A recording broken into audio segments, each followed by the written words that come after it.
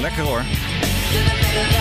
Just like a pill radio. Pink, dit is dossier Mastenbroek. Ja, even na zes uur als je dan gegeten hebt, dan uh, kan het wel eens gebeuren dat je een beetje zo'n inkakmomentje krijgt. Dus ik denk, we moeten even raggende gitaren de eter in gaan gooien.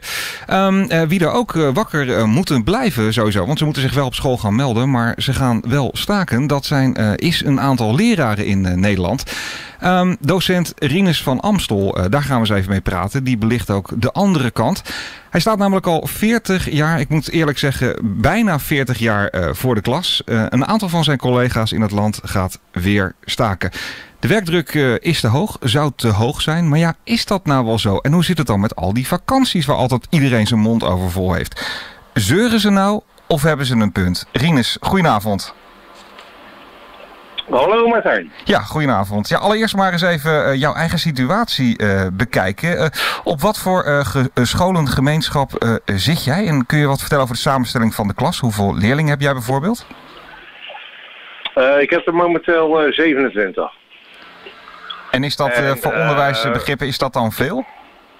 Mm, nee, dat is normaal.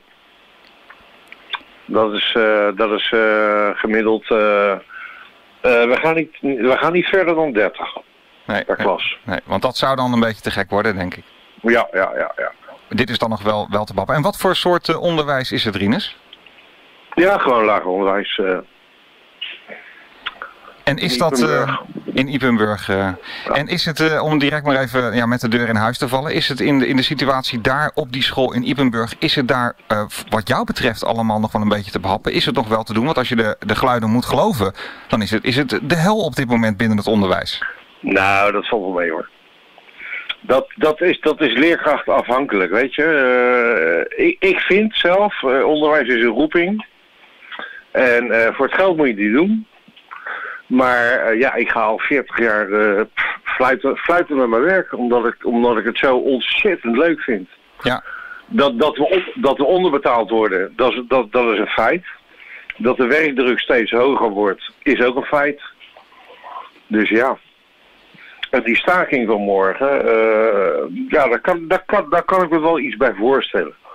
Maar... Um, Kijk, ze zeggen altijd, uh, het onderwijs eh, staakt niet, omdat uh, het gaat ten koste van de ouders en de kinderen. Ja. Ik heb ook nog nooit gestaakt, vanwege dat principe. Ja.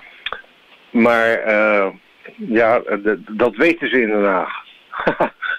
dus ja, het is moeilijk om, om, om, om dingen hard te maken. De, de, werkdruk is inderdaad hoog. Het salaris is inderdaad uh, ja, niet, niet vergelijkbaar met bijvoorbeeld uh, het bedrijfsleven. Nee. Dus ja, sta, ik, ik kan me een staking wel voorstellen, maar... Toen, je, toen jij begon, uh, Riemes, want ik vertel het al, jij zit uh, bijna 40 jaar in het vak. Eind dit jaar vier jouw, jouw jubileum. Uh. Was het in het begin misschien anders gesteld? Is, is de ja, salaris... Ja, ja, ja, nou, salaris niet, nee. maar je had wel me veel meer tijd uh, voor de kinderen. En komt dat omdat de klassen wat, wat kleiner waren of was er nee, gewoon nee, nee. over het algemeen? Nee, er was, er was veel minder administratie. Ook niet goed. Nee. Ja, die administratie is wel goed, maar op een gegeven moment uh, uh, ja, ga, gaat dat een beetje de verkeerde kant. Ja, want kun je eens vertellen, wat, wat moet je dan allemaal voor administratieve handelingen verrichten in zo'n klas rondom zo'n uh, schoolgebeuren? Ja, uh, ja, ja al, al, alles wat, uh, wat getoetst wordt, moet je administreren. ja, er moet, zo, er moet, er moet zo ontzettend veel bijgehouden worden qua didactiek. en tegenwoordig allemaal digitaal. Ja, het kost gewoon, het kost gewoon steeds meer tijd. Dus ik, ik, kan me, ik, kan, ik kan me die werkdruk, die kan ik me helemaal voorstellen. En betekent dat dan dat je dat uh, in je eigen uren moet uh, gaan doen? Of wordt het uh, gewoon verwacht dat je dat binnen die, die acht uren per dag gaat doen? Nee, dat, dat, dat gaat je nooit lukken. Nee. nee. Nee. Dus dat betekent dat je uiteindelijk in je eigen tijd moet gaan werken? ja, in principe wel. Als, als je het goed wil doen. Als, als je het goed wil doen, wel. Ja. En ja, daar, daar, daar zit het al dat een beetje. Dat betekent dus ook in de vakanties. En uh, kijk, ze, ze, hebben het natuurlijk altijd over de vakanties van de leerkrachten en zo. Ja. Maar ja, de eerste week van de zomer en de laatste week van de zomervakantie, die vallen sowieso af omdat je dan eh, op school bezig bent.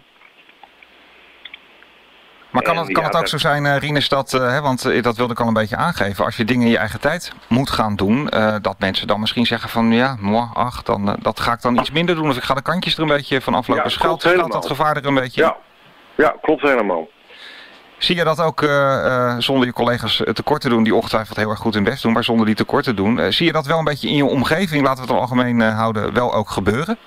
Ja, ook. Ja, zonder meer. En, en staat men dan ook enigszins gefrustreerd voor de klas door alle toestanden? Ik niet. Jij niet, maar, maar Nee. collega's wellicht? Ja, ja, maybe. Eh, ik denk het wel. Eh, als, ze, als ze mensen om, eh, om half vier en woensdag om, om, om een uur of één weg zien gaan. Ja, dan denk ik toch wel dat er, ja... Dat men denkt van, joh, hoe, hoe doe jij dat dan? En hoe doe jij het dan? Gewoon maar in je eigen tijd, omdat je echt passie hebt voor het werk. En ondanks het feit dat je onderbetaald wordt en veel werkdruk hebt, eh, doe je het toch maar gewoon. Ja, precies. Zitten de... Ja, ik zit... eh, eh, meestal ben ik ook een dagje in het weekend lekker op school. Ja. Ja. Geen gezeur in mijn hoofd, lekker mijn eigen ding doen en geen... ja, Is dat misschien ook een beetje, Rinus, de arbeidsethos van de oude garde, om het zo maar een beetje te zeggen? Zitten de klagers dan een beetje misschien bij de, bij de nou, nieuwe dat garde? heb je nou, daar sla je helemaal de spijker op de kop. Oeh, dat, zal wel, dat ligt wel heel gevoelig, denk ik, als we dat nu zo uitspreken. Ja, nee, ja, is ook zo. Ja, Is dat dan toch, ja, de jongere garde die... eh. Onderwijs is een roeping, denk ik. ja, En dat is eh, ook, ook waarom ik iedere dag, eh, ja, ik ga fluiten naar mijn werk. Maar ik denk dat... eh, dat Ondanks dat ik het onderbetaald vind Ja. en dat ik eh, de werkdruk steeds hoger wordt. Ja, dat is een beetje, ja, ik ben natuurlijk, eh, ik zit 40 jaar onderwijs, dus op een gegeven moment kan je wel keuzes maken. Is het daarom ook misschien, want daar wilde ik het ook nog even heel kort met je over hebben, Rinus. Het lerarentekort, ligt dat er ook een beetje aan ten grondslag dat het gewoon slecht betaald wordt? Dat mensen Ja. daarom niet meer kiezen Ja, voor het, voor het vak? Ja. Mannen, man- mannen kiezen sowieso eerder voor het bedrijfsleven als voor het onderwijs. en dat komt eh, Er puur, er is puur bijna omdat... geen man meer te krijgen eh, binnen de pabo's. Ongelooflijk. Ja, maar dat is dan de, de instelling van de man dan, zeg je eigenlijk. Die gaat dan toch meer voor het grote geld uiteindelijk. eh. Ja, ja voor, voor, voor ietsje meer, denk ik. Hoe, zie jij, hoe zie jij de toekomst van het onderwijs eh, in, Rinus? Eh, wat, wat moet Ja, er nou gaan er gebeuren? Ja, er moet echt wel wat gebeuren. Ja, maar, en dan gaat Die morgen de dekker, moet- staking die dat... dekker moet sowieso weg. Ja, Want die, eh, die is alleen maar eh, luchtballonnetjes eh, op het laten. ja. Heeft totaal geen verstand van het onderwijs. En die, eh, ja, ja, die lult maar wat. Sorry dat ik het zeg. Maar... Ja.